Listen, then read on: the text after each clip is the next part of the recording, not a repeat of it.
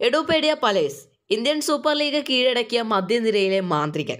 തുടർച്ചയായ ആറ് സീസണിൽ ഒരേ ടീമിന് വേണ്ടി പന്ത് തട്ടിയെന്നുള്ള റെക്കോർഡിനു ശേഷം ഈ സീസണിൽ തന്റെ മദർ ക്ലബായ എഫ് സി ഗോവ വിട്ട താരം ഏത് ക്ലബിലേക്കാവും ചേക്കേറുക എന്നതറിയാൻ വേണ്ടിയായിരുന്നു ഓരോ ഇന്ത്യൻ ഫുട്ബോൾ ആരാധകനും കാത്തിരുന്നത്.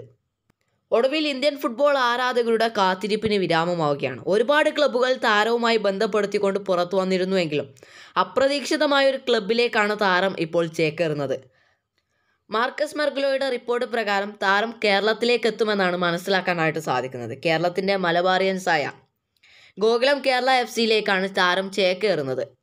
ഇന്ത്യൻ ഫുട്ബോൾ ആരാധകരെല്ലാം വളരെയധികം ഞെട്ടലോടുകൂടിയാണ് ഈ ഒരു ട്രാൻസ്ഫറിനെ ഇപ്പോൾ നോക്കിക്കാണുന്നത്. തുടർച്ചയായ ആറ് സീസണിൽ എഫ് സി ഗോവയ്ക്ക് വേണ്ടി പന്ത് തട്ടിയതിനു ശേഷം താരം ഈ സീസണിൽ ക്ലബ്ബ് വിടുമെന്നുള്ള റൂമറുകളൊക്കെ ശക്തമായിരുന്നു. പിന്നീട് ഒരുപാട് ക്ലബ്ബുകളുടെ പേരായിരുന്നു താരവുമായി ബന്ധപ്പെടുത്തിക്കൊണ്ട് പുറത്തു വന്നിരുന്നത്. എഫ് സി ഗോവയ്ക്കായി നൂറ്റി ഇരുപത്തിരണ്ട് മത്സരങ്ങളിൽ പന്ത് തട്ടിയിട്ടുള്ള താരം പതിനാറ് ഗോളും പതിനാറ് അസിസ്റ്റുമാണ് നേടിയിട്ടുള്ളത്. ഏതായാലും മലയാളി ഫുട്ബോൾ പ്രേമികളും അതുപോലെ തന്നെ ഗോകുലം കേരള ആരാധകരും വളരെയധികം ഞെട്ടിലോടെ തന്നെയാണ് ഈ ഒരു ട്രാൻസ്ഫറിനെ കാണുന്നത്. എന്തായാലും ഇന്ത്യൻ ഫുട്ബോൾ കണ്ട ഏറ്റവും മികച്ച ട്രാൻസ്ഫറുകളിൽ ഒന്നാകും. എഡുബൈഡിയുടെ കേരള ഗോകുലം കേരളയിലേക്കുള്ള ചുവടുമാറ്റം എന്നതിൽ യാതൊരു സംശയവുമില്ല.